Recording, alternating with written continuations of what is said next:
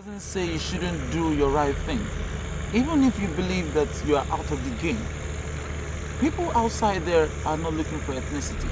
They're looking for what you have in here. Because what you can be able to provide to people is the source of your potential.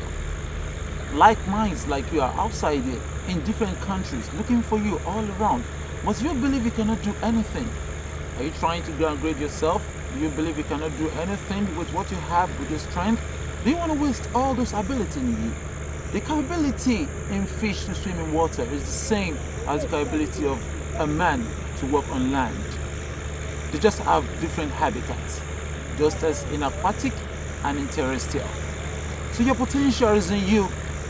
Without ethnicity, you can grow more.